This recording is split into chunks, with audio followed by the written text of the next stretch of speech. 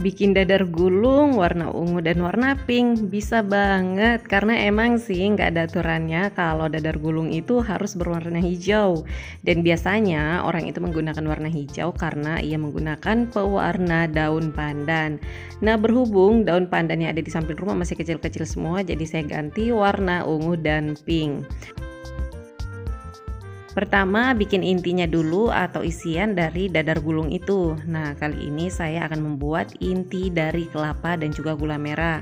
Caranya ini sangat simpel sekali. Kelapa dari setengah tua diparut, dikupas terlebih dahulu, kemudian diparut. Dan jangan lupa dipilih bagian kasar-kasarnya seperti ini ya, dipisahkan. Ntar kalau udah tercampur jadinya kurang cantik. Kemudian tambahkan gula merah. Ini untuk kelapanya sebanyak 500 gram gram atau setengah butir kelapa. Dan untuk gula merahnya ini sebanyak 200 gram setelah dicincang halus-halus. Nah cukup dicampur seperti ini terlebih dahulu. Lalu kemudian ditambahkan gula pasir sebanyak 3 sendok makan. Tapi ini opsional bisa ditambahkan jika suka yang manis. Lalu ditambahkan juga 1 sendok teh garam.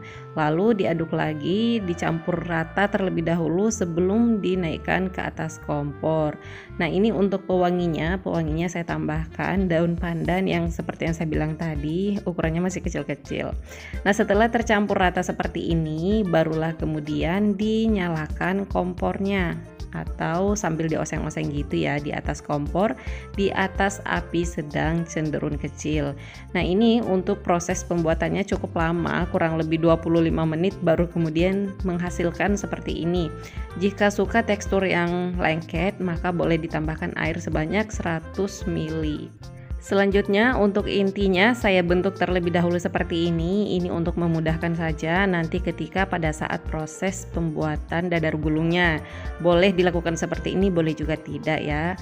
Kemudian saya akan membuat adonan tepung terigunya atau kulit e, dadar gulungnya. Ini terdiri dari tepung terigu sebanyak 250 gram Dan 1 sendok teh garam Kemudian satu butir telur untuk resep lengkapnya juga saya taruh di sini dan juga di description box di bawah video ini ya untuk memudahkan di kemudian hari recooknya. Setelah itu lanjutkan tambahkan 65 ml santan instan. Di sini saya menggunakan santan kemasan. Lalu kemudian saya tambahkan juga sekitar 1 sendok teh ekstrak vanila agar ada aroma wanginya gitu ya. Kemudian saya tambahkan lagi air putih 250 ml nah untuk airnya ini nanti bisa disesuaikan. Apabila dirasa masih kental maka boleh ditambahkan air lagi Kemudian kita whisk sampai semuanya tercampur rata, dirasa tidak ada lagi yang menggumpal untuk tepung terigunya dan bahan-bahan yang lainnya.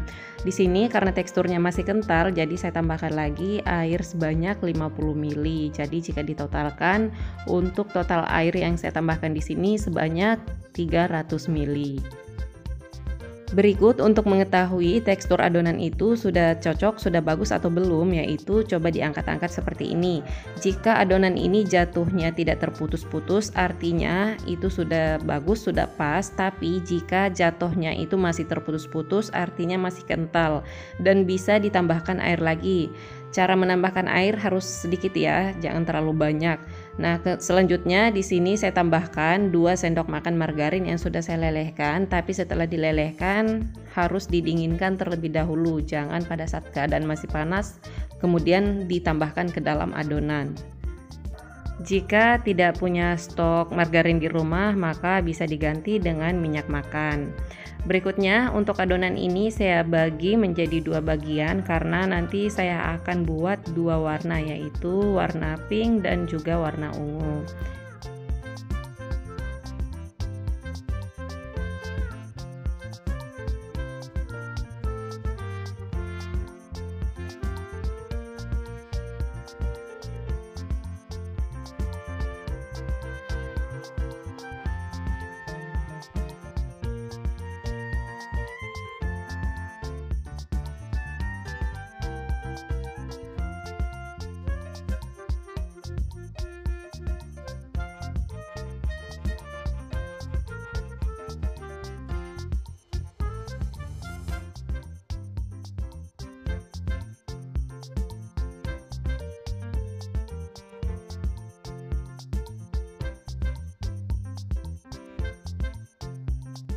Selanjutnya tinggal panaskan teflon di atas api sedang cenderung kecil tapi terlebih dahulu untuk teflonnya harus dipanaskan ya agar adonan ketika dituang ke atas dia langsung bisa membentuk.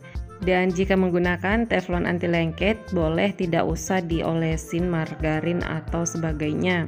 Tapi jika menggunakan teflon biasa, maka harus diolesin terlebih dahulu margarin yang tipis-tipis agar adonannya nanti tidak lengket.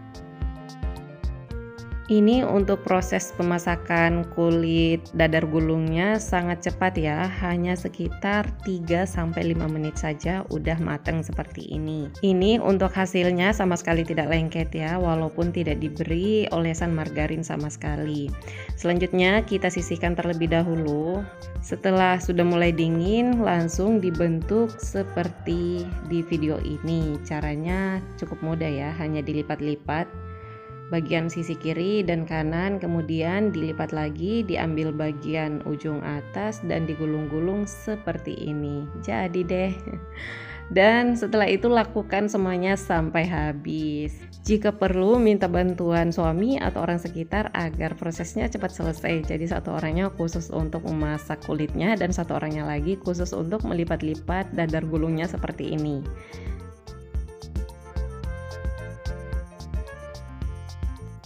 Di sini untuk tekstur kulit dadar gulunya sangat renyah sekali ya dan kenyal-kenyal gitu, tapi tidak ada rasa manisnya sama sekali. Sengaja saya buat demikian karena saya tidak suka yang terlalu manis, makanan yang terlalu manis.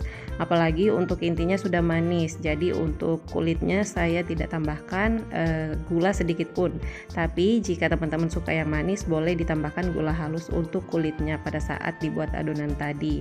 Nah, ini untuk intinya tersisa ada beberapa dan sekarang untuk hasilnya dalam ukuran 250 gram tepung terigu cukup banyak. Dan rasanya walaupun tidak berwarna hijau tetap enak. Ada aroma-aroma vanilanya di bagian kulit dadar gulungnya.